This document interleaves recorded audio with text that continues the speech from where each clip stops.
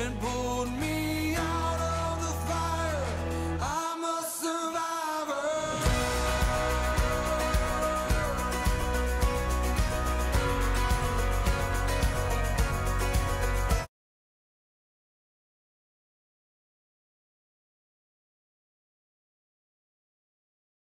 Hey guys, I'm dying. But aren't we all? I have an estimated lifespan of 35. And the reason for that is I've had multiple traumatic brain injuries. Um, my first one was a severe traumatic brain injury, and it um, shortens your lifespan pretty drastically. But I've had a lot of brain injuries, um, but actual like surgery, brain bleed, brain injuries was three so far. My yeah, my first one was in 2012 was my main, the severe traumatic brain injury. Then following that, I began having seizures and passing out, having limited strength and mobility and issues like that. But then that led to even more issues of me falling and cracking open my head or whatever, and leading to more brain bleeds and more brain injuries. So, um, the thing is, is I have accepted that I'm gonna die like quicker than the average human. Which is me. I am the perfect human. I hope hopefully I do die first because I don't want JC to die, but because I wouldn't be able to live with that. You can live. You can live. I cannot. Yes, no. I will die. Shh, don't cry. Don't cry. It's okay. okay, I'm sorry. I'm sorry. We're not talking about that. Okay, so I've accepted it. Um, she's also accepted it.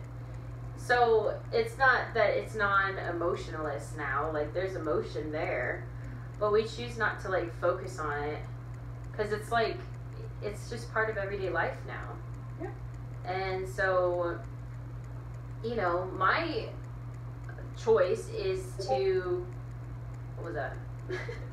Damn you, notification. It was just computer notification. Yeah. Okay, so where was I? Uh, We choose not to focus on it. yeah, we choose not to focus on the agree. So we choose not to focus on it. Um, it's not that we like don't know that it's like a thing. Like, it's not like that we don't know that it's gonna happen. That we aren't like. I couldn't say like we're prepared as in what we would do, um, in like a physical response, like what would happen to a lot of the responsibilities. But for the most part, it's like emotionally you can't really ever prepare or prepare for that. But we choose to not. yeah. So we've accepted it. Yeah. Obviously, there's no like being prepared to die. Not even at, at a hundred, not at twenty, not you know two weeks from now, not sixty years from now. It's something that you can't really prepare for. So it's not that just because my lifespan's shorter that I need to like prepare, which I mean, a lot of people say that like that you just need to accept it and prepare like prepare yourself. Like you're gonna this is gonna happen, that's gonna happen, you know, you may be in a lot of pain, you may suffer, whatever it is, and then you know you'll you'll prepare yourself ahead of time. But that just doesn't happen. Because like i thought you know possibly that i would be like prepared for that type of stuff. But um an example of that is um, thinking you're prepared and then when it actually happens um jc was present and this it was the Third. Third time from now intubation Yeah. Yeah. Um, so, I mean, with my seizures from my brain injury, I have pretty bad seizures sometimes. Sometimes? a lot of times. Well, I mean, sometimes as in not every day, but like, let's just put this into perspective. Just because you have seizures and then I'm like calm around them doesn't mean it makes any less scary for me. She's scared of me. I'm not scared of you. I'm scared of like something bad happening to you. So you know, JC as a caregiver has like a whole different side of you know emotions and um, you're basically going through what I'm going through just in a different way. Yeah, I'm not in. I'm not in like the pain as in like any physical pain, but like it, it takes its toll emotionally for sure. Yeah. Um, there was this one time that you were getting intubated and you were having really bad seizures. Um, they were gonna call like code blue on you because your heart rate was fluctuating so high. They were afraid of you going into cardiac arrest. Was Um, that the time it was like 190s, 200s, something like Mhm. that? Yeah. And um, it, I think they also gave you central line that day. I don't remember. Maybe, yeah, it was. It It was? was that I had that video. Oh, okay. then, Yeah. Yeah. So then you had gotten your central line and they started getting the fluids into you, but it wasn't stopping. So um, because they were afraid of you having a heart It's a attack medication and. Yeah. with uh, cardiac arrest, they were gonna like intubate you and Oh, I was status epilepticus that day. Yeah. That's what it was. Yeah. It was Because I, I recently shared that video. Um, it was scary. I was leaving with Colt because they were gonna uh, what was it intubate you. And before I left, you know, I told you I loved you, and you said you loved me, and then you like grabbed my hand while I was starting to walk away, and you like looked at me, and you were like, "Am I gonna die?" And I, I like tried so hard to like, it was really hard for me because I didn't, I didn't really know, but the last thing I wanted you to see was like smile and have hope, and so for me it was, um, I was like, "No, we're gonna be fine, I promise." And making empty promises like that, it it sucks, but I just I felt like what she needed to hear was um, like good good spirits, and so I told her that, and I remember her smiling, and then she started crying and said, "I don't want to die." Um, I was like, "We'll be fine. I love you. I promise." And then I left the room and I waited for them to completely finish intubating her, and I had Colt, who's really well behaved, just like laying right next to me. And, um, that was really hard for me, for sure. I'm sorry, you're gonna make me cry. Oh. Um. So that was one of the many times that I was dying from my health issues. Um, you know, not uh, not one of the, the bigger times like when you know you have a brain bleed that's like instant, you have to go into surgery or you're gonna die. Um, but status epilepticus is very serious and um, basically what that is is is when a seizure lasts more than five minutes or your seizures cluster which is like you have another seizure before one is done. Um, so like you're never coming back to consciousness. Um, so longer than five minutes you're having lack of oxygen your everything in your body's depleted um, to the point of like extremely dangerous levels and stuff.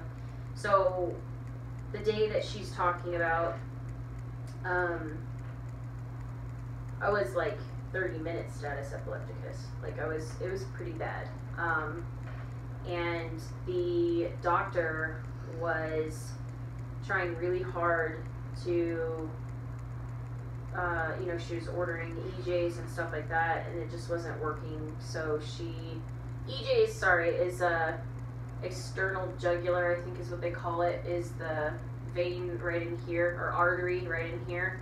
Um, and they put an IV in that because I barely have any IVs in the rest of my body. So they'll search and stab me like 40 something times or whatever. A human pincushion. A human pincushion, that's a good way to describe it. I sure feel like that sometimes. Um, sometimes they still try, and I'm like, why are you trying? But depending on how sick I am. When I'm really bad, there's no getting it. it's like you're basically playing like hide and seek. Seriously, playing hide and seek. But it's true, like, that day it was like they tried EJs and everything and nothing was working. We even so did ultrasounds, remember? yeah, ultrasounds for EJs and EJs and everything. And then the doctor actually came in herself and started a central line and um, basically considered a you know procedure like sterile procedure in a trauma room. and started. I was already in the trauma room though, but um, because of everything that was going on. But yeah, they basically had to get a central line line because they were trying everything and they couldn't give me seizure medication without just like giving me a shot or whatever and they couldn't give me you know potassium and all the stuff that i needed and fluids and all that um, so started central line and uh, that was kind of like a last ditch effort to try and help me so i was already at the point of pretty bad um, but looking back at the video, which I'll link that in the description because I think that might be helpful to some people. Um, obviously, not all of it's in there because it would be a very long video. But, and there's just some things that you can't or don't video. But, um, yeah, the, I'll link that in the description. But that video, it will show, like, I'm pretty drugged up in that video. Like, pretty drugged up. Oh yeah, they they had like tons of uh, different kinds of anesthetics and uh, Anesthetics. sedation. It was like sedation medications and stuff. Anesthetics, I don't know if that's the right word. it's anesthetics, uh, Uh, like the, well, they had to numb you in that area while they were doing. The, oh yeah. I don't think that would affect me like cognitively though. But I was, so I was like super drugged up. Mhm. Um, because I was pretty much, I was pretty much like maxed out on seizure medication. So it was just like a kind of really scary situation. Yeah. And then, um, pretty much while she was finishing a procedure is when I went into like code blue type status. Um, yeah. Yeah, she spent. So no I time honestly- getting on intubation. What'd you say? She spent no time getting you intubated after that. Yeah, that was.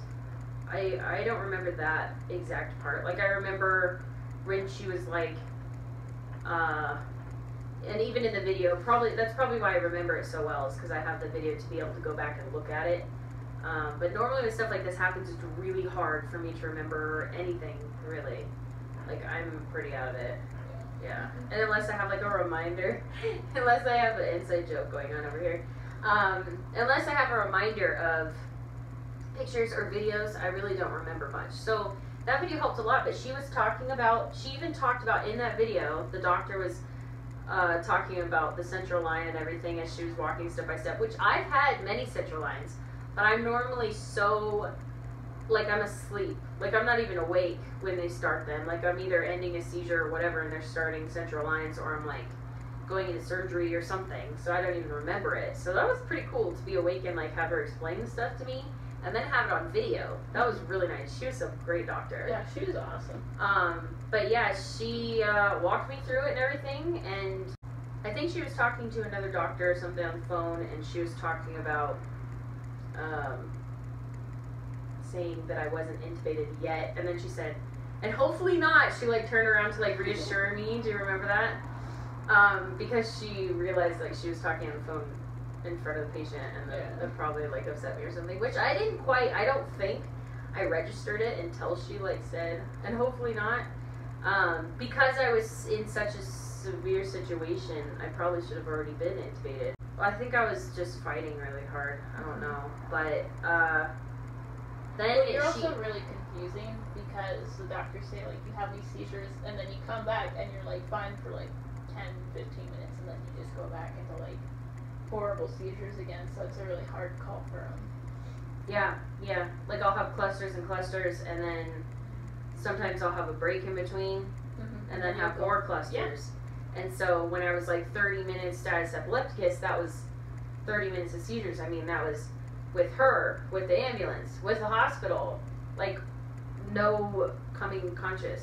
Mm-hmm. And so they were, it was pretty scary.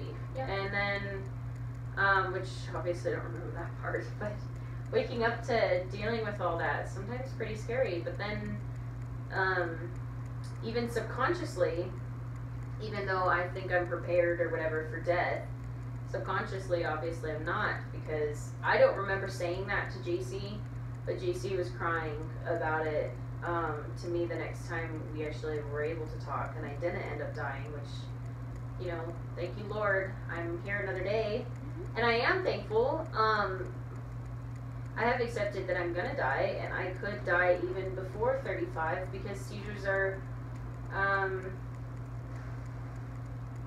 there's a high chance of death with seizures, especially like uncontrolled seizures. So, um,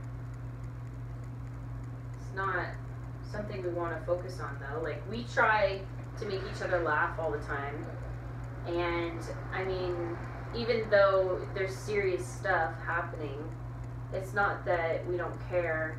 We just like it's everyday life. It's something that's gonna be there whether we're upset about it or not. So we might as well spend the last time that we have together um, happy and joking and Positivity. yeah, and Well, I mean- choosing joy and you know, it's not it's not like easy. Like I have days where I'm in like so much pain that I just want to like hate the world and honestly that's obviously not a good outlook I on just want to watch the world burn. And I mean honestly that's not like the best outlook to have on life for sure, but it happens. We're not perfect. We're to have those days, but like we try to the best of our ability to be happy and cheerful. And to like if you if you only have so much time left to live you might as well like live it good right? Like not waste time worrying or complaining or whatever You live it to the best and the fullest you can. Yeah. So i spend a lot of time doing things that um you know people are like you're in a wheelchair and you did what or you have seizures and you did this or you know whatever whatever it is and it's not that i like to live dangerously like on purpose trying to like harm myself or have another brain injury but like i've had other brain injuries from falling from a standing position.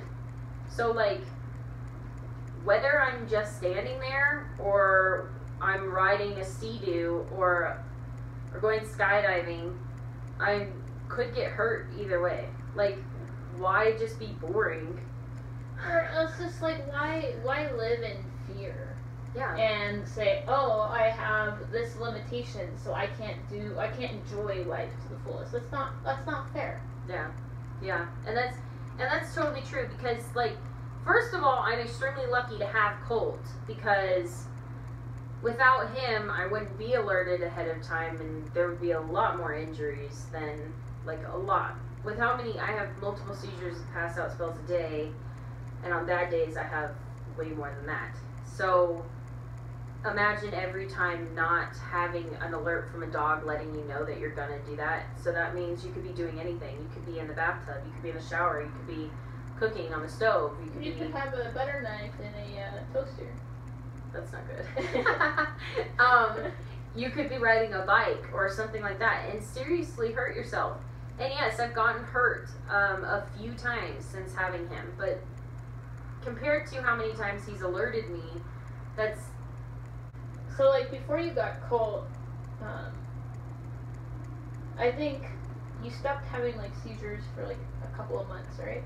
Yeah. And then you they said when the yeah they said when the the scar tissue started forming is when it all just went to crap. Yeah.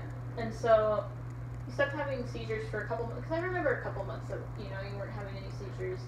Um, and then you got Colt for basic mobility because you've always had issues ever since your accident, like being Mhm. able to grab things, bend down. Yeah. Um, and then Open and close doors Yeah. and all that. as you're treating for that, you realized that he like got like kind of weird and needy, and then you started having seizures He again. got he got pretty crazy. Like we almost got rid of him because we thought he was gonna knock me down or Yeah. he was barking and craziness, and we didn't understand that that's what he was that doing. he was allergic And to then seizures. yeah, and then finally we realized that. Um, took us a while to put two and two together, but yeah, he. I think it was like a couple of months that. You, I remember It was like two me. months. Yeah, it was like two months. The first time you did it, I remember you calling me and you were like, "Oh, Colt's acting weird," and then Yeah, and it was weird because And he I was so all- well trained by that time. yeah, and then you were Like we were like, what's wrong with him? "You're like Colt's acting all weird," and then you hung up with me. I was like, "Oh, maybe he's just having a weird day or something," and then uh, you hung up on the phone, and then you called me again. You're like, first I was on and I was doing something, and then I woke up and I was on the floor." And that you were like, "Wow," because like, what were you doing on the floor? You had no idea, but Imagine if that started up before you got uh, Colt. Yeah, even more confusion and getting, Yeah. uh, you know, I did get injured a lot before I realized that he was alerting. realized seizures. that he was alerting, Yeah. um, and before I had him, because I did have seizures um, in the beginning of my traumatic brain injury, I remember that. but I was mostly in the hospital, um, During that. inpatient rehab and stuff. But uh, so that was much safer, obviously, being in a hospital setting while having seizures. so you're not I mean, you walking were a around. risk. Yeah. Yeah. Um, Did they ever make you an NPO or ill in the hospital? yeah. There was a lot of times that I was the You're always NPO when you go to the hospital. It sucks. Like, why can't I just eat my candy? you don't remember that time where you just finished getting uh, out of your intubation and there was a banana, but you weren't allowed to have it you were Didn't you bring the banana? Oh, the banana was just sitting there, but Oh, they, they just forgot to take it away, and you're NPO. Oh, of course I'm gonna eat the banana. And then you were like, I was like, hey, and you're like, I'm NPO, but I'm hungry. And I'm like, oh. You're like, is that a banana? And I was like, yeah. And you're like, and I'm like looking Oh, out in the hallway. okay, okay. Uh, I got extubated. Um, and it's a banana. I'm not eating like like something crunchy.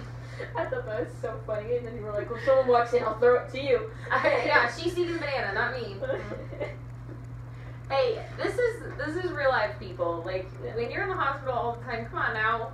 Like I already deal with enough. Don't take away my food. well, I mean, what's the banana gonna do, really? Mm, it's gonna make my stomach happy. Exactly. I mean, if you throw it up, that's fine. You already got potassium absorbed anyway, right? Mm, yes. Very positive outlook on throwing up. Yeah, there are times that I throw it up. You know what? If I think it's worth it, I'm gonna do it. Okay? If I want to eat that banana and then I get nauseous and throw it up later, who cares? I was happy I ate the banana. I just thought that was like that was so funny. Just got extubated. Had you NPO. I was like NPO for like, like, that wasn't the same time though, right? We were talking about a different intubation. Yeah, it was a different intubation. Okay. But I was like NPO like three days before that, Mhm. that intubation. And then I was like not eating the like what, two days I was intubated, three days I was intubated, whatever it was. Yeah. And then and then there's a banana and they, they expect me not to eat it. Hey, I know I was in like coma land, but when I wake up I'm hungry. Yeah, like let I me have a banana. banana now. So, um, but yeah, they're normally pretty nice though, because they'll like try to take me off NPO as soon as possible. yeah. Because like, you know, know that time. that's hard. Come on now. Kind of. Which which time? The Oh, the banana time. Yeah. Is that what's telling you to watch out in the hallway? Yeah. Sometimes I don't remember these things, but it's hilarious Yeah. uh, to hear stories about it. yeah. so- Like you know, showering me and stuff. That oh was yeah, very that was so fun. funny. I'm like, yeah, I don't actually remember that, but I do remember trying to Your parents text were there. you. Really? Yeah, um, at the point in time, I think before you got there, or Yeah, because I got there when your parents were there.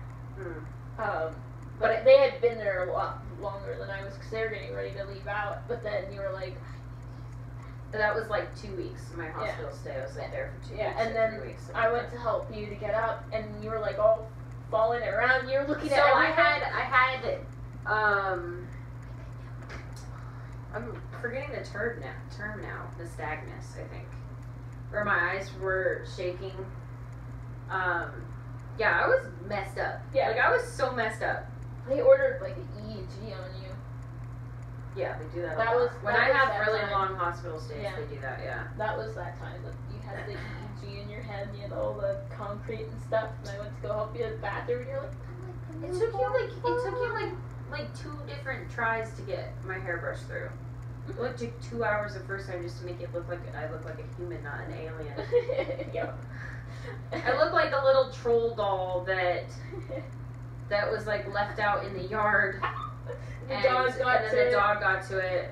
That's what my hair looked like. It was bad. It was yeah, it was That time bad. was pretty bad. Like two weeks in the hospital with concrete stuff in your hair and like matted. Oh, it was horrible. I Um, mean, but they caught she. some of your seizures though. What did you say? They caught some of your seizures on the EEG. Oh yeah, because it was a long time. Yeah, a long Yeah. period of time. It was good. But man, then there was so then there was the fact that I wasn't letting the nurse shower me or something. Mm-hmm, you didn't I see, and I don't even remember You this. didn't but want to be showered by the nurse, but you needed to shower. obviously I probably stunk really bad. And then the nurse is all like, you know, she's fighting me, and and I'm like, I'll, I'll take And then her. JC's all like, "Give me the washcloth." Yeah, and then I, I bathed her. Oh, and you were like, you're so-. I love you so much. Gosh, I'm glad I don't remember that because I would be like humiliated. Like You were like, humiliated. You're so nice. So, I so I, and I wasn't even humiliated. I was to the point in drug wise that I wasn't even humiliated in that situation. That So that nice. I'm glad though. you. I'm glad that I don't remember that because I would be like totally embarrassed. And you're like, don't. I'd be like, you can never look at me. and you were like, don't wash my privates. I do it myself. Oh my god! Oh, TMI. I don't think they want to know that. so funny, dude. You laugh. Oh. You made me laugh so hard. Oh, but I was saying, I remember trying to text you because that's something I vividly remember was trying to text in general, but I was texting you majority of the time.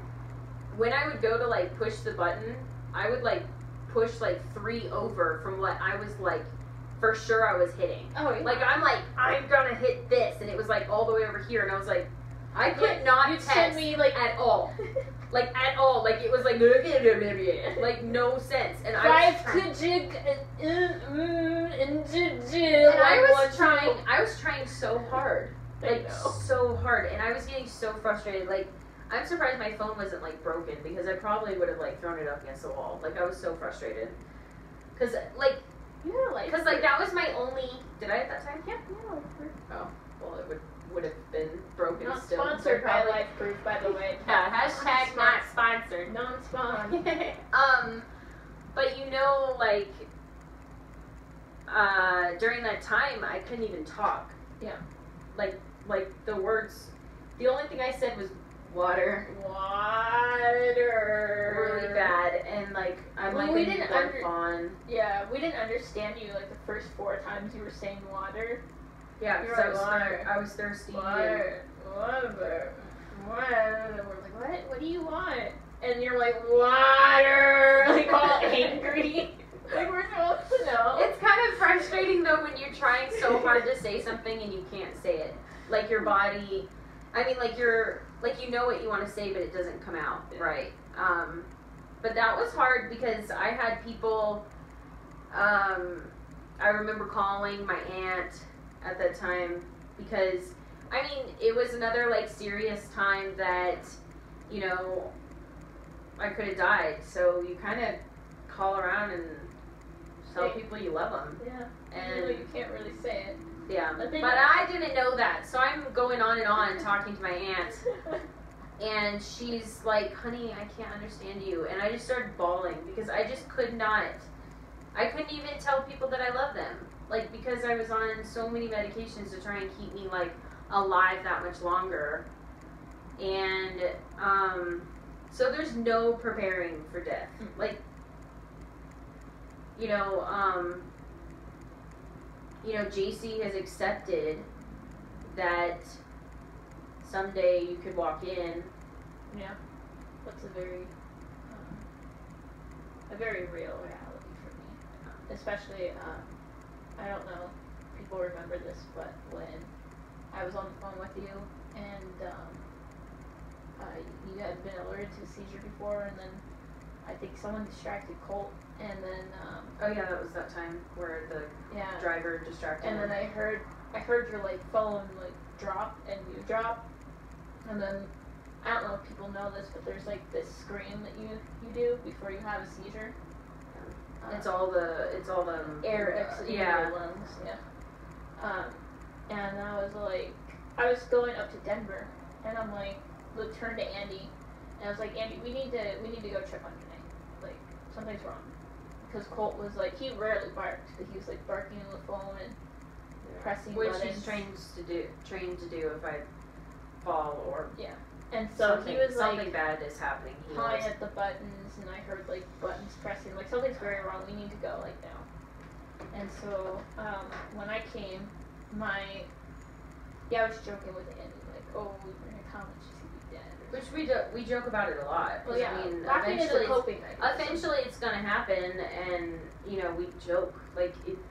It's better than crying because like we feel like Yeah. you know if you dwell on it and be all serious about it, it's not But uh, a good way to live. I walked in, um, and I saw pretty much just you know blood everywhere, and I immediately tried to check to see if you're still alive, like pulse, breathing, and you were breathing, so your chest was like concaving and convexing. And then um, I was on the phone with paramedics, and I took a couple pictures with your phone so that you you know had that. Yeah, memories. Because I don't.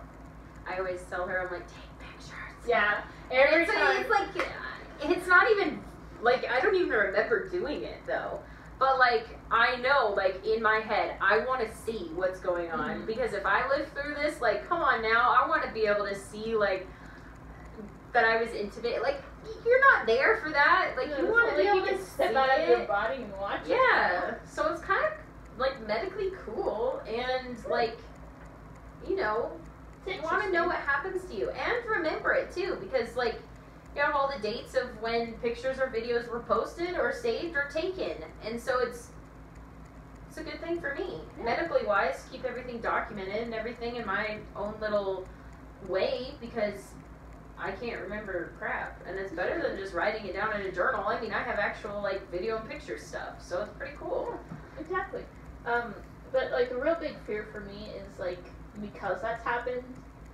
Now, like every time I like come to come over, I'm like thinking in my back of the head, what if, what if, what if, you know?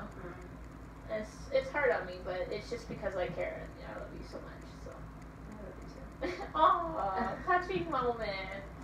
Um, so from a caregiver's perspective, Mhm.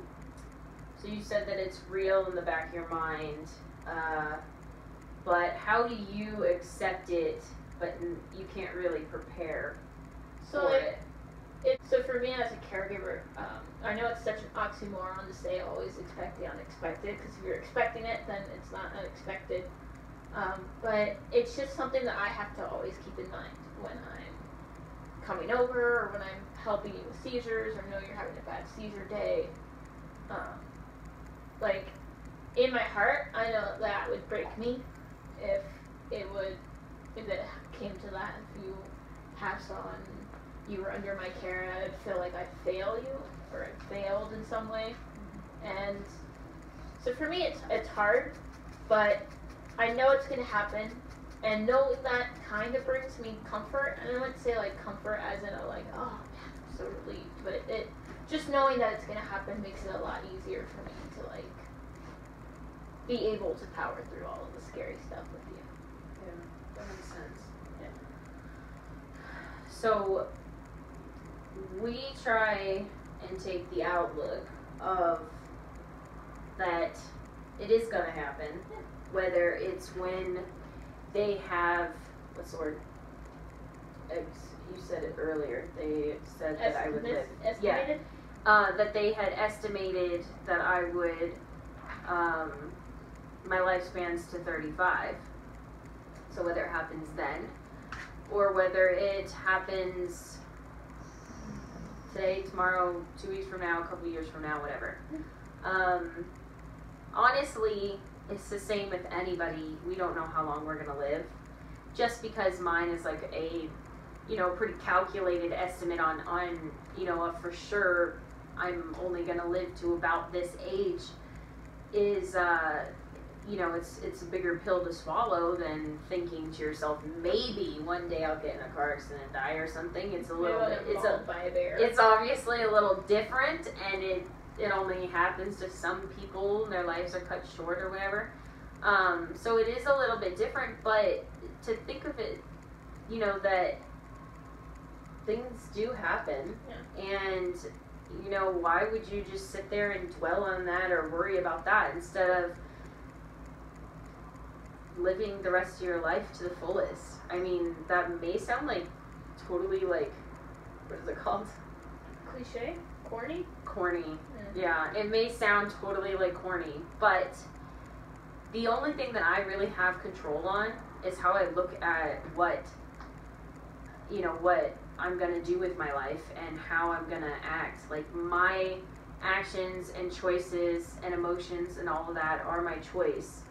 And instead of being one side, you can be the other. So instead of being mopey and depressed my whole life, I can choose joy and we can laugh about it. We can joke that, you know, I'm gonna die or something.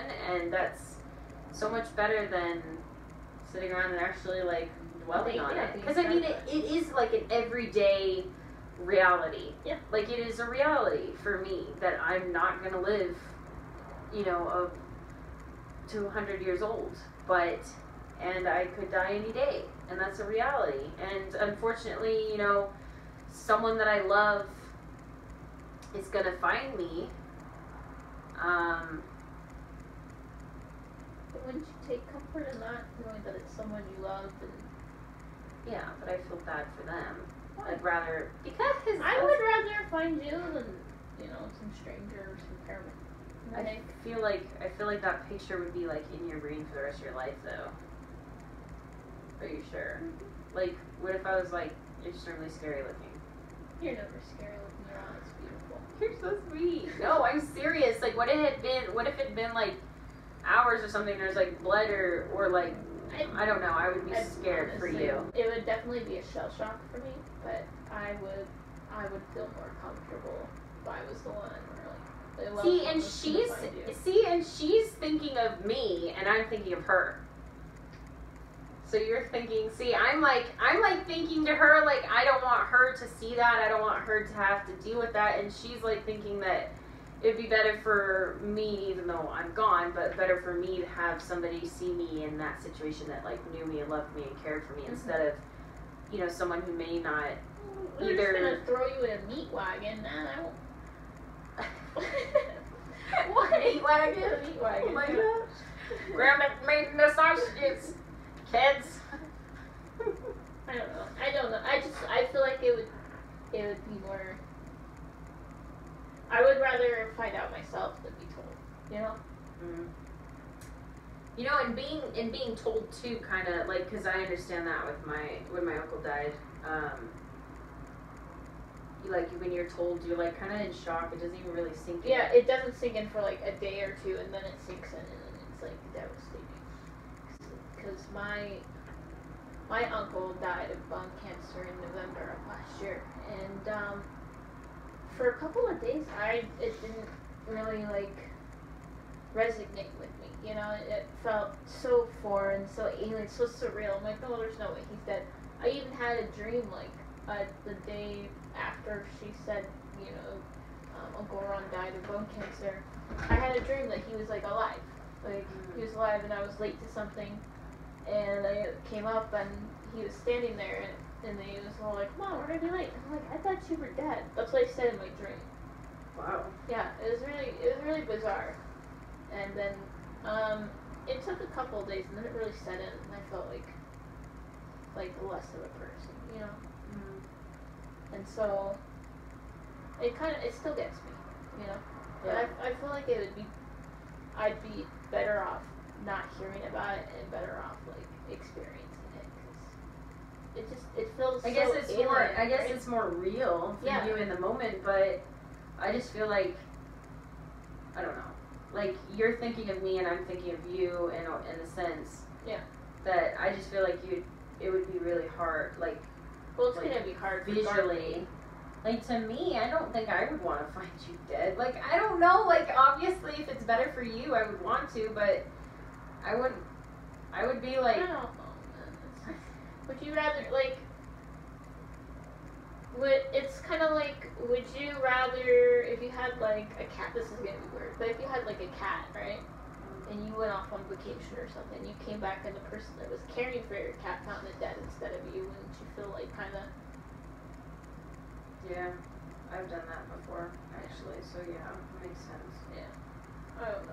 I don't know. I just feel bad though because like like a cat like obviously if it was like run over by a car or something that would be gruesome, but normally they just like you know curl up and pass away or something. so it's not as gruesome.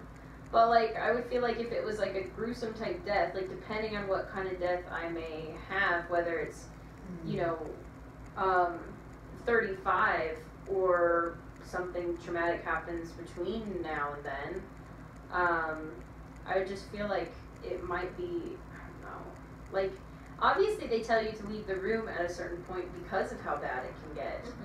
And so, like, they don't even let you, like, the only thing you're able to really do is sit outside or look through a window. You can't even be in there. So I feel like the, obviously they do that for a reason. Yeah. Like, I don't know. I just don't want to, like, traumatize you. I would. I don't think traumatized.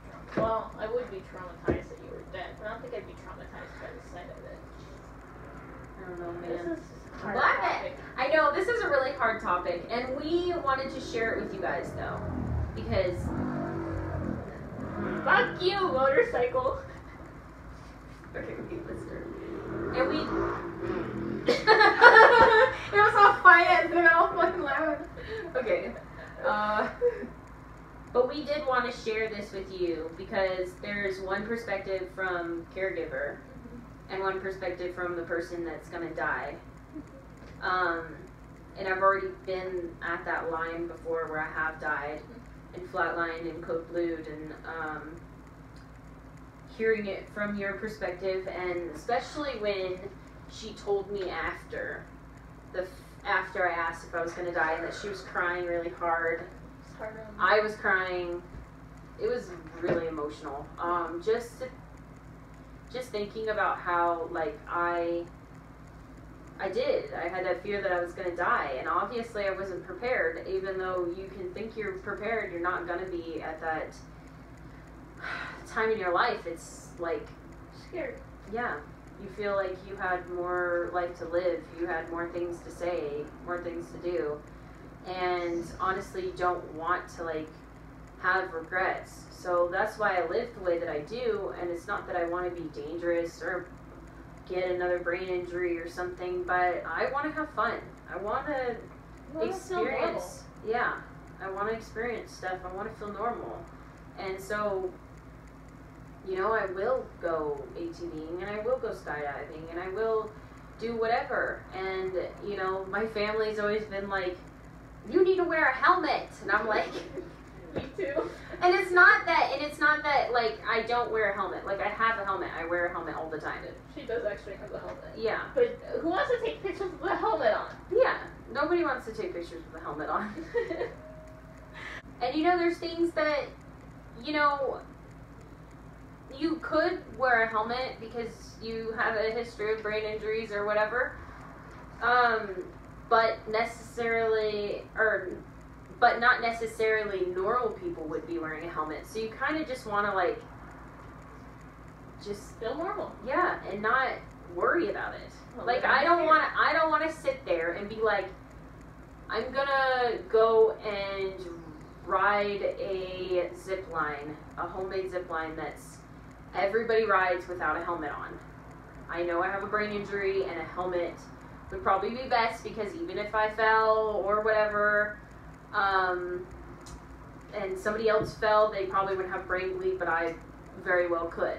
I'm not going to sit there and think through all that and be like, well, I'm going to wear a helmet just to be safe because I have this health issue. And it's not that I don't care. But the fact is, is if an accident is going to happen, it's just that, an accident. And no matter amount, no matter the amount of preparation you put yourself in, there could be anything that could cause you to die. Anybody, not just me. So, of course, there's going to be times that you just live your life. You know? All you have is right now. Yeah, that's all I have is right now. Whether I die tonight, whether I die when I'm 35. So all I have is right now, and why am I going to sit there worrying about stuff and complaining and whining? And doesn't mean I don't do it. There are definitely days. There are days. There are We days. don't have those days. Yeah. Um, but I definitely think that choosing joy is a big part of life because honestly, when something goes down, whether it be health related, emotions related, life related, um, sitting there, I saw this thing that I actually think is amazing. Um, it was like a little diagram, and it said, um, something happens in your life, right?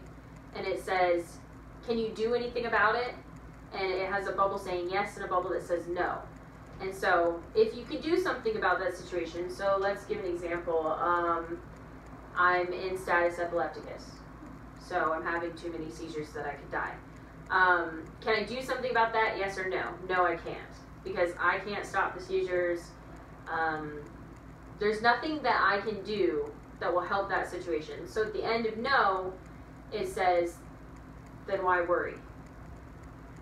If I could do something about that situation, so the answer is yes, then why worry?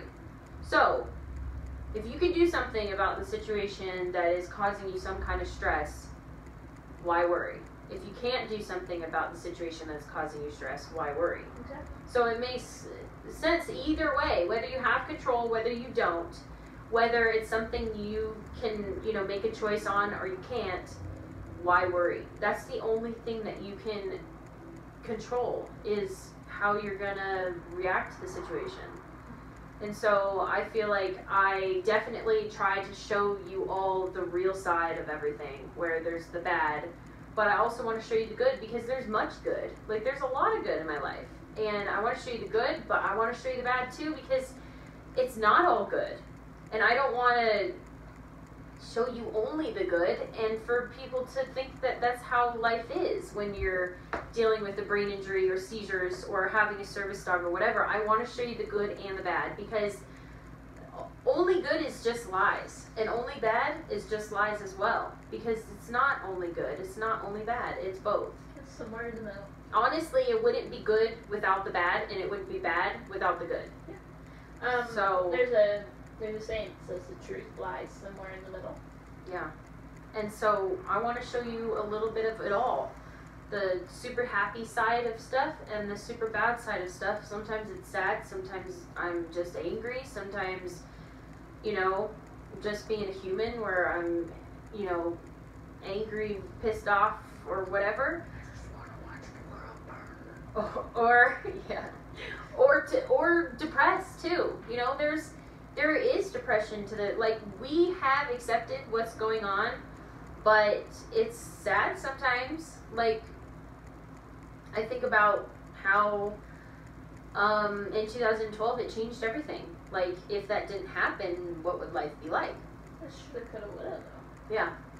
And it kind of makes you sad. It makes you think about how, like, you know, you're not going to have as full of a life. You're not going to, you know, live to be old, frail, and in a rocking chair from porch, sipping iced tea. Iced tea. Um, Becoming best friends with your best friend all over again because you have Alzheimer's.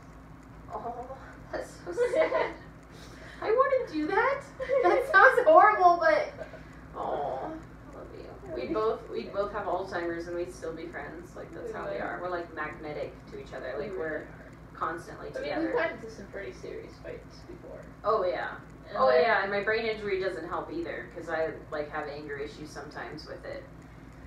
No matter how much therapy I've been through. Yeah. So like we have our fights, but we'll always we always come back to each other because we. But like you said, you actually said it earlier when we were on the phone. You were talking about how, um, because I'm dying and because of what I go through, I push people away. Yeah, exactly. Yeah, you do. You do push people away, and then you try to push me away. I'm like, uh, uh you get push me away. And she's gracious enough to understand that. Um, but I've definitely I've lost friends, which I've lost friends first of all because they weren't real friends in the first place. I think that's an, a thing that I'm very grateful for my brain injury for, and I know that's something you probably never hear most people say. I am thankful that I've had a brain injury because I have learned who my real friends are because you don't really know who they are, who your real friends are until something like that happens to you Exactly. you you know when someone a friend or boyfriend or family member has to bathe you and carry you from the couch to the bathroom or Hold your hair back when you vomit. yeah and clean up your vomit and blood and wipe your blood on their sleeve Um, that was I remember that. that was an I experience still for have sure. that. I still have that sweater. You still have that sweater. I do. Um, but that is something like that you're not gonna have from people that you think are your friends. You know, you may be looking at your life now and you're like, I have 20 friends, but when push comes to shove, you most likely have one or two. like in reality, you may have twenty like people you talk to, but in reality, you probably only have one or two like Yeah. people that are You have a, a hand friend, uh, a hand. You have a handful of uh, true friends that will be there no matter what. ride or and- die. but I'm so thankful. Like my brain injury didn't only just teach me that. Obviously, it wasn't like oh, I'm thankful for my brain injury. Weeded out my friends. Like I have the good ones and I have the ones that I won't talk to ever again. I was like, they're like, you're in a wheelchair. Not cool, dude. Bye. like thanks. You remember that one Uh. time when we were walking into Ross and I forgot to hold the door open for you? And you're like, uh, hello, and I'm like, oh shoot, I forgot because I don't see you for your disability, and you were like, Oh yeah, that was so sweet.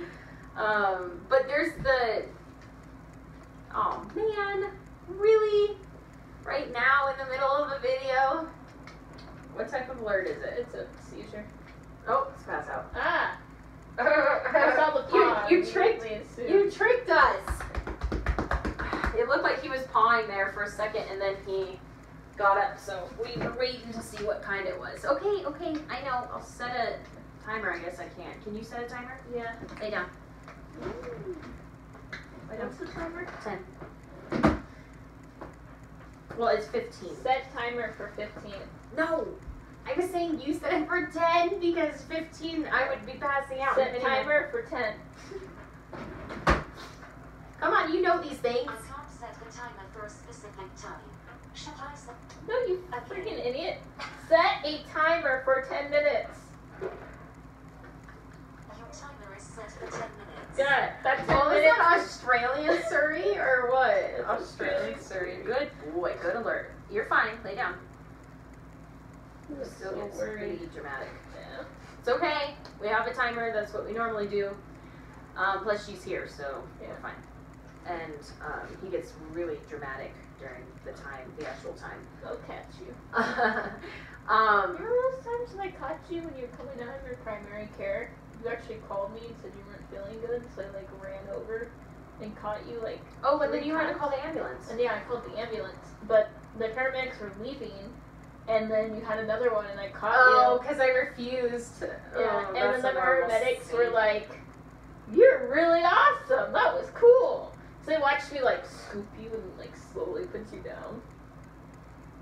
She always knows when I'm going in a seizure. I do. You get like it's Uh, well, my- face. Well, and then there's body posture Mhm. and um, the scream sound. I'm sure. Yeah. helps you get your attention. But I mean, I know before you have the before you like exhale all of your air during that scream, like your your your eyes just get weird. Like I can't explain it. You'd have to like be around you a lot to know. Like my eyes drift or something. There's just it's And just shake it's just weird. It's just like you get the space, and I know Mm. it's So a- right before the seizure even happens, you're saying? yeah. I get this Okay, I weird thought aura. I thought you were talking about like, okay. Yeah. You know, Yeah, I know before it even happens. and I mean Colt is there and everything too, Yeah. but um, man, I kind of am feeling out of it. Um, I'm becoming seizure alert human. Yes, human. Um, she's she's my service human, and I have my service dog. So we have, so I have lots of help. Which Garrett, I mean, Garrett is either with me or JC's with me or a family member's with me. I'm normally not really by myself much. I'm Um, alone. yeah, unless I'm like at home, but I'm always on the phone with you pretty much. Yep. I don't think um, we ever get off the phone. But okay, wait, let's go back to.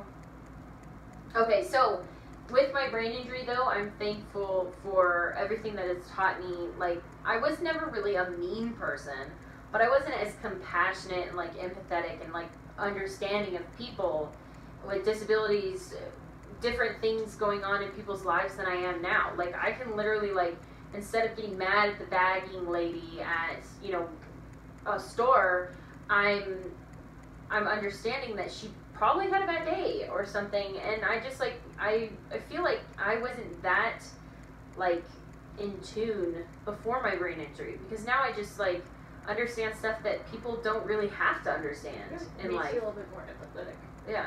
And so I feel like, um, obviously, that's not the only reason. There's a lot of things that have changed in my life for the for the better, even though there's a lot of like things that were added on. That I feel like it, it all happened for a reason. That God, you know, had that um, turned that you know tragic event into something good. So, you know, people always ask like, how do you believe in God when he caused this to happen or caused that to happen.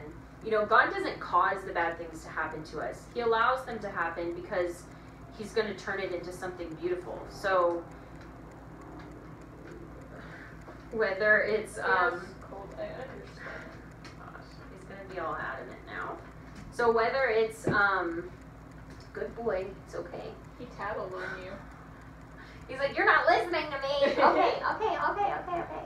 Um, so we're gonna have to end the video soon. So I'm just gonna say, um, I know that God didn't cause these things to happen to me, but He turned them into something good, And they made you stronger as and they person. and they made me a better person, stronger as a person, and I've I would have never been where I am in my life without this happening. And so um, I'm not there was there was a point in time that I was angry at God.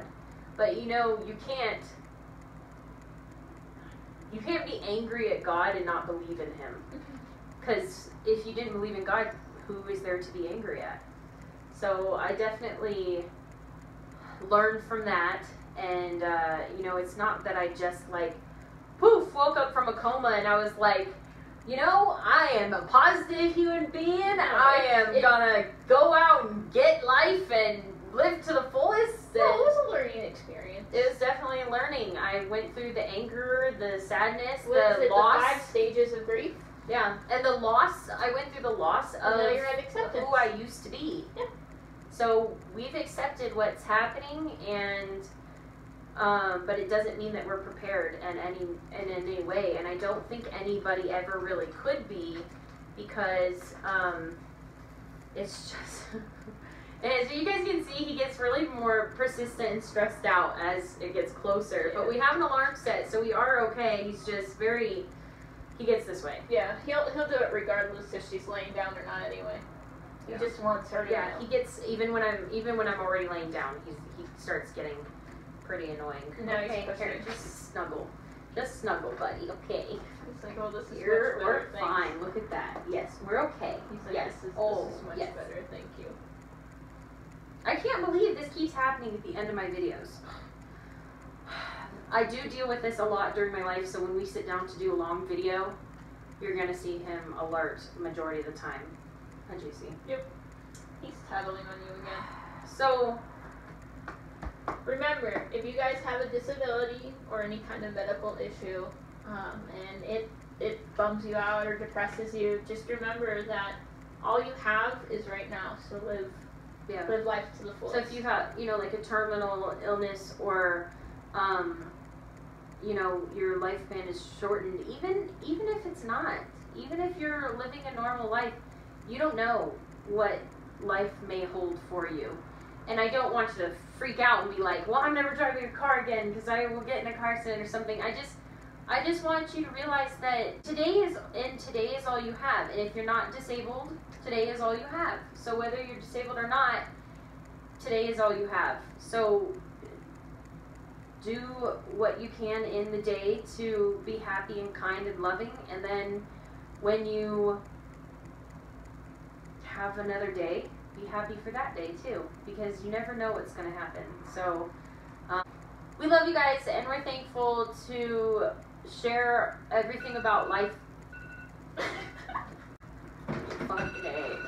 Once I have this done, I'm gonna fucking lay down. I'm gonna. I'm gonna crack my head open if we don't get this done because Okay. I'm gonna keep trying until we do. Okay. We love, you guys, guys. and we're thankful for everything you. You're supportive, your comments, your love, and just caring enough to to be curious about these things. I mean, we really do care about you guys, and we're thankful that you guys are part of our lives. And we just wanted to share this all with you because it's um, you know it's a, it's not a fun topic and it's not something that we want to talk about on a daily basis but it's something that is very real and a lot of people are going through it. So whether you know you may be having a shorter life than other people or you're you're a caregiver to somebody who is um, we just want to give you guys a big a big internet hug and yes a big internet hug.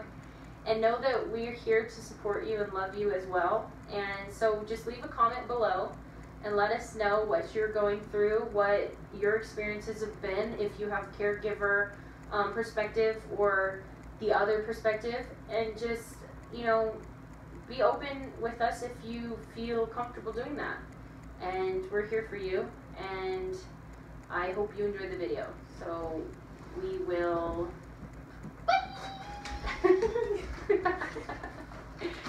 we'll talk to you later. Whew.